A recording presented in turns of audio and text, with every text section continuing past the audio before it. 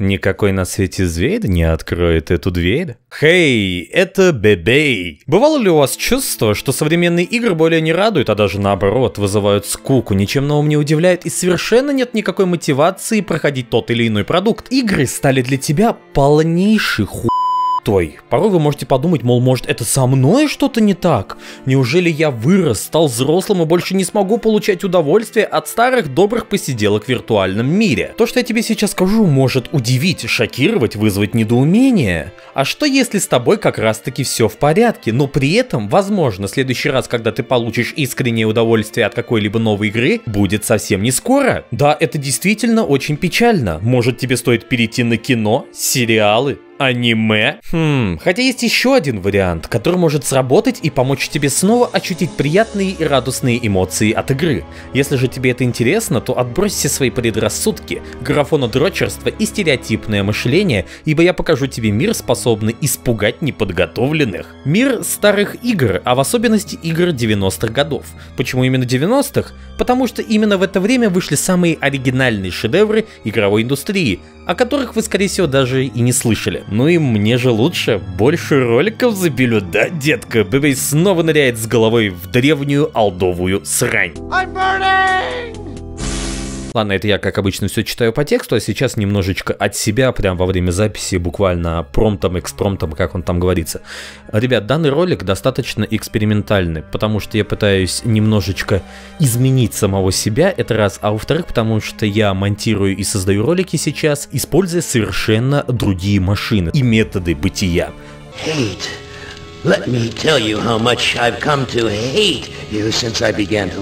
Так что, если вдруг будут какие-то косяки в технологическом, э, в плане повествования, то, пожалуйста, не бейте меня, не ругайте, это все эксперименты. Торжественно сообщаю тебе, я планирую выпустить несколько роликов по данной теме, где буду все глубже и глубже помогать вам вникнуть в суть той годноты, что выходила в прошлом. То есть можете спокойно ожидать отдельных роликов по древним игорям, которые я то и дело буду выкапывать из могилы. Ultima, Вангеры, Underworld, TES, Jagged Alliance, Аллоды и множество другого годного стафа, который я вытащу со дна на свет божий. В данном же ролике мы затронем основы, и я вам в общих чертах покажу, что почем хоккей с мячом, то есть просто затру за старые игры, с чего все начиналось и так далее. Можете считать этот ролик началом чего-то большего. В первую очередь стоит определиться, что такое старые игры игры, а точнее, когда игра приобретает статус старая, или как сейчас можно говорить, алдовая. Кто-то говорит, что игре должно быть более 10 лет, и лишь только тогда она будет считаться ретро. Майнкрафт вышел в 2009 году, однако он все еще популярен и снабжается новым контентом. Скайриму через год исполнится 10 лет. Можно ли будет тогда Skyrim называть старой игрой? Сомневаюсь. Однако тот же Сталкер Тень Чернобыля 2007 года уже как-то более тянет название старичка. И это несмотря на то, что он все еще популярен и живет благодаря мододелам. Да что уж там. Первый Modern Warfare, да-да, тот самый, он тоже вышел в 2007 году. Дабы таких вопросов более не было, в данном ролике и впредь мы будем отталкиваться от моего собственного метода оценки возраста игровой индустрии. Профессор Бобай сейчас принесет вам немного мудрости. Представляете себе, я и приношу мудрость. Начнем с того, что индустрия развивается и растет с каждым годом все больше и больше. Поэтому намного удобнее будет распределять игровые эпохи по десятилетиям. Допустим, Stalker это игровая серия нулевых, а тот же Skyrim это уже эпоха десятых. Но чтобы по-настоящему игра считалась старой, по моему мнению, она должна быть выпущена как минимум три эпохи назад. Поэтому те же Portal или Half-Life 2 только готовятся стать старичками. А вот System Shock 2 уже заслуженная олдовая новоретро игоря. Теперь, когда мы определились с тем, что такое старые игры, стоит перейти к сути. Те игры, про которые я вам буду далее рассказывать, и в которые, я надеюсь, вы после этого захотите поиграть, были выпущены раньше 2000 года.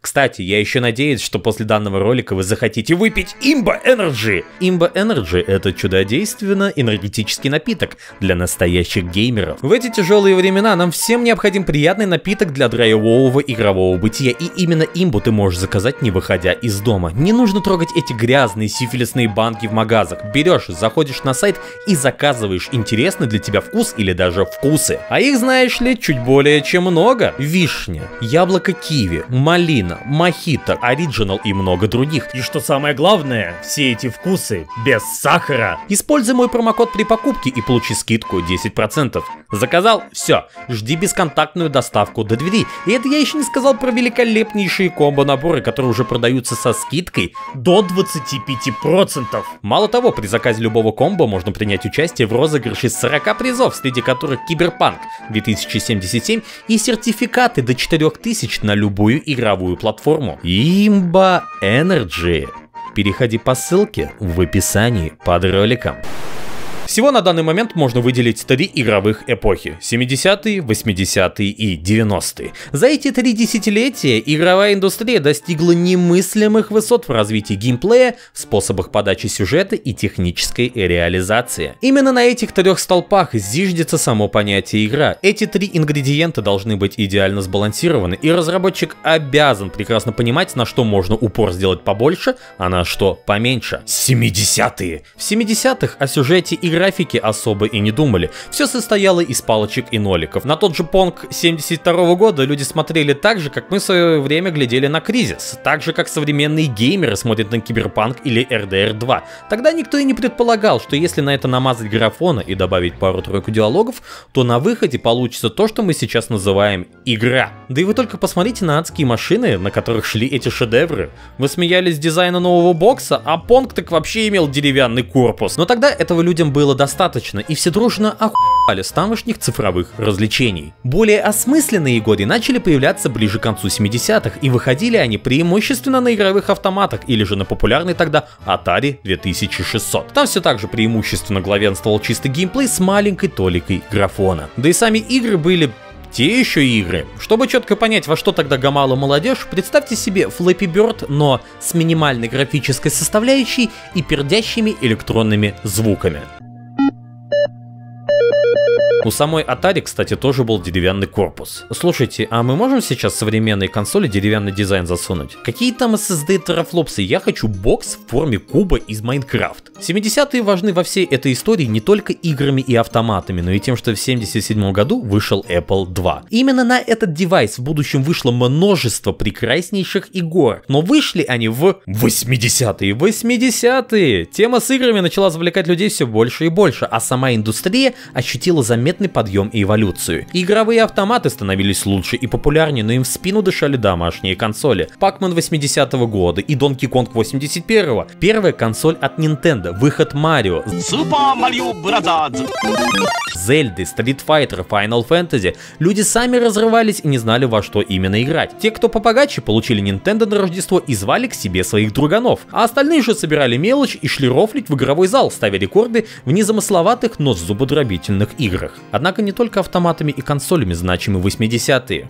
Параллельно с консолями растет индустрия компьютерная. Шажочек за шажочком. Развивалась линейка компов Apple, наконец-то вышли Commodore, Spectrum, MSX и, что самое главное, полноценные игры для компьютеров. Мало того, многие ПК-игры 80-х знамениты и по сей день, как тот же самый Metal Gear, Wizardry, хотя вы про него вряд ли слышали, Might and Magic, Ультима, Принц Персия и многие другие. Я вам обязательно расскажу про всю эту годноту и поверьте мне, после моих роликов вы обязательно захотите их пройти. Игры помимо геймплея начали прибавлять в графоне и сюжете. Появляются интересные персонажи со своей собственной историей и приятной глазу оболочкой. И они хотя бы стали похожи на живых существ. Игрострой приносит все больше прибыли, а в компьютерную отрасль вливаются юные мечтательные студенты. 90-е, 90-е. Данную эпоху видеоигр принято считать одной из наиболее важных. Если до этого индустрия росла стремительным потоком вверх, то начиная с 90-х появилось множество ответвлений. Да, ранее были прекрасные технологические игры для автоматов и домашних консолей, но именно в этот период в огромнейшем количестве выходили качественные и не менее технологичные игры для компьютеров. Дело в том, что до этого многие разработчики и издатели не воспринимали всерьез разработку игр для ПК.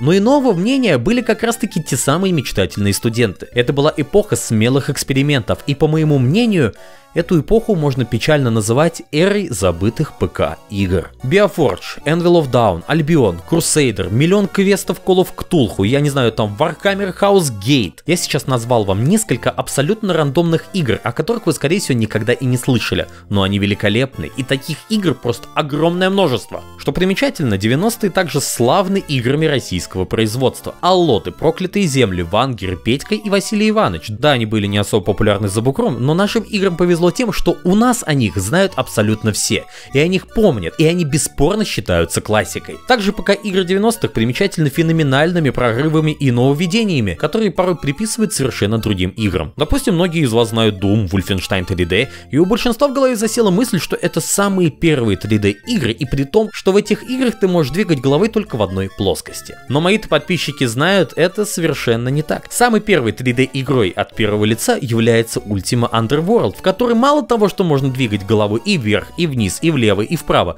но и перемещаться в трех плоскостях. Удивительно! Однако не только пока играми прекрасна данная эпоха. На свет вышли первый PlayStation и Nintendo 64. Их играм, конечно, повезло намного больше, потому что тогда консольные игры приносили много денег, а приставки были почти у каждого подростка, и поэтому много консольных игр осталось в памяти у людей. Но это не означает, что мы их пропустим. Я вам обязательно расскажу в отдельных роликах про те или иные игры, просто потому что это интересно. Всякие Гарри Путичи, Человеки-пауки, Зельды и Марио — это только вершина консольного айсберга. А мы же с вами хотим узнать, что там на дне. Да? Я поведал вам за некоторые основы, которые желательно знать. Ныне на канале периодически, но не на постоянке, будет выходить новая рубрика «Старые игры», в которых мы с вами будем в подробностях разбирать ретро-годноту. Impossible! God, nothing, mercy, Baka! Baka!